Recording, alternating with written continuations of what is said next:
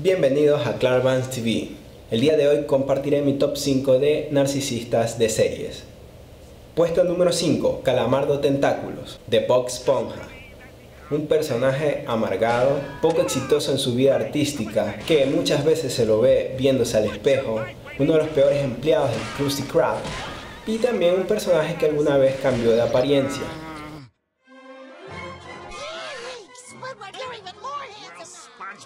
Was you who got me into this mess. Now you have to get me out of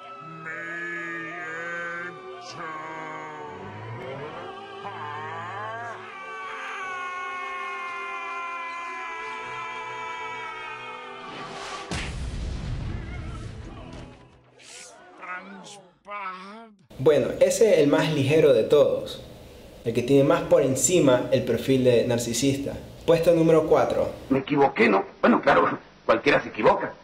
Yo nunca me equivoco. Bueno, de hecho, una sola vez me he equivocado en mi vida. ¿Cuándo? Una vez que creí que estaba equivocado. Bien. Sí, el profesor Girafales del Chavo del 8. Tal vez muchos esperaban a House.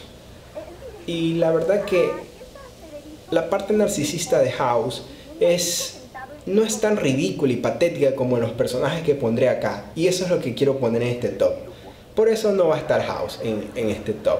Bien, es un profesor, es el que instruye, quiere sentirse útil, quiere tener esa, esa posición.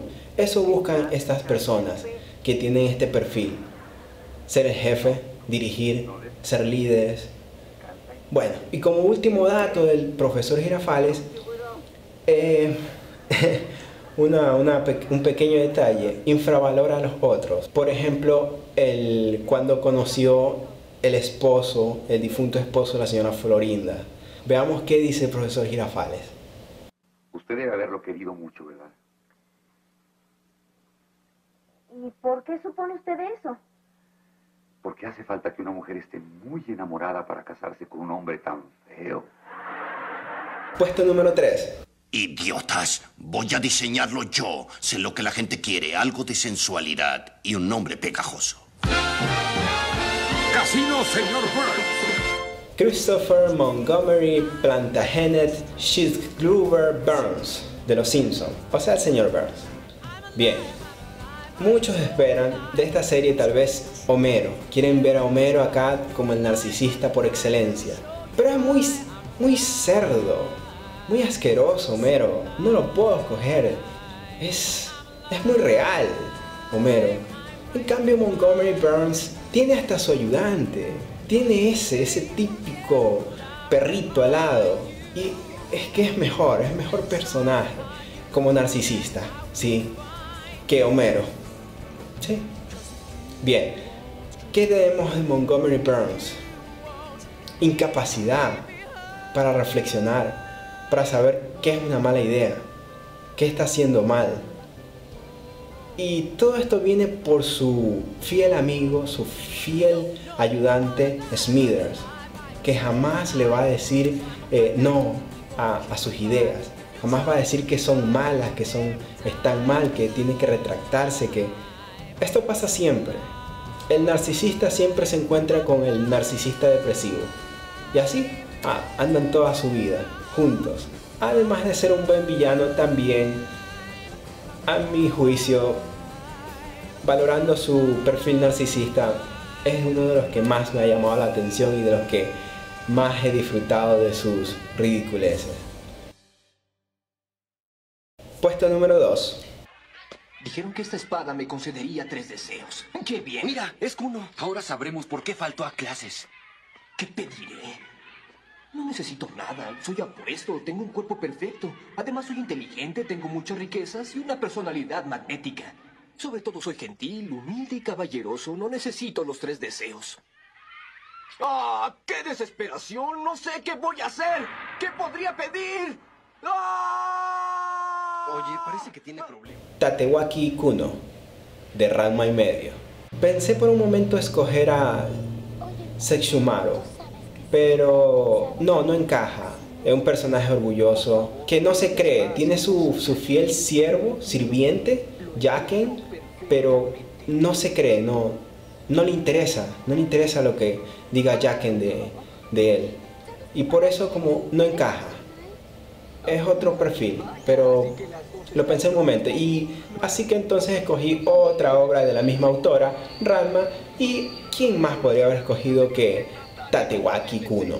Kuno se cree el mejor espadachín, el mejor galán, el mejor hombre, el, el mejor ciudadano, el mejor todo. Eh, él no se entera de, de la posición que ocupa en cada uno de esos ámbitos. Pero es para disfrutar. Creo que es un personaje que te hace reflexionar sobre cuánto te puedes sobrevalorar a ti mismo. O sea, que siempre te da miedo, ves, ves el ridículo que hace y dices, ¿y alguna vez yo no habré sido así? En alguna instancia, en algún parámetro, en algún momento, da hasta miedo. Pero eh, eso es lo gracioso del personaje. Perdón, esto es mío. ¿Y eso qué podrá ser? Es un regalo, nunca es desagradable.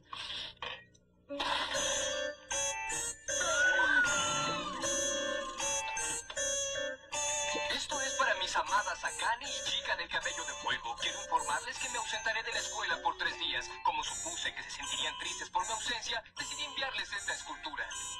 De este modo no se sentirán tan solas y si lo desean, pueden besar y acariciar mi imagen para consolarse. Ojalá les guste. Les guste. Les guste. Pero qué horrible objeto. ¿Cómo se atreve? Kuno siempre ha tenido mal gusto. Puesto número 1. Sal Branigan, de Futurama. Un chance sádico, un capitán incompetente en el amor, para conseguir mujeres, parejas. Es un tremendo fiasco. es tremendamente patético. Y, y lo único que lo salva de, de este patetismo, si se puede llamar así, eh, es que él no está enterado de lo mal que se ve.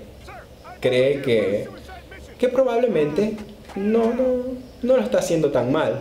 Por lo tanto, sigue con sus mismas estrategias que nunca funcionan. Ah, qué poco varoniles, qué poco, poco masculino también. Es un fiasco, es un, es un chiste andante. E- e- Eso es chévere. De Seth Branigan, eh, eso es lo chévere. O sea, tienes que disfrutar el, personaje. Puede ser que hay personas que les desagrada Seth Branigan. Qué asco ese personaje. Me cae mal. E- Es verdad, puede llegarte a caer mal, pero hay que tomarlo. Estos personajes hay que tomarlos por el lado amable, por el lado gracioso, por la comedia, porque no son otra cosa que comedia. Esos son los narcisistas en la serie, en las series cómicas, en cualquier serie. Son el personaje cómico. Eh, Don Quijote es un personaje cómico, el tipo. ya está viejito, no, no se da cuenta de sus incapacidades y, y está creando historias que no existen. Bien, pero eh, eh, de ahí viene tal vez el perfil de Don Quijote. ¿Quién sabe? No lo sé. Pero siempre me han hecho reír. Siempre me han agradado estos personajes. Siempre me, me, me hacen, hacen meditar. Yo creo que hacen meditar a estos personajes. Espero que algunos de ustedes hayan encontrado algún narcisista que le haya caído bien o hayan identificado algunos parámetros, perfiles que tienen los narcisistas en alguno de estos cinco puestos que he mencionado. Creo que eso es todo por hoy. Así que si te ha gustado este video, no te olvides calificarlo y suscríbete para que estés al tanto de la próxima emisión de Clarkman TV. Giff! Yes. Oh. Yes, Captain. I have made it with a woman. Inform the men. Desde que el hombre dejó por primera vez su cueva y conoció a otro individuo con distinto idioma y formas diferentes de ver las cosas, la raza humana ha tenido solo un sueño. Matarlo para no tener que aprender su idioma ni su forma de ver las cosas.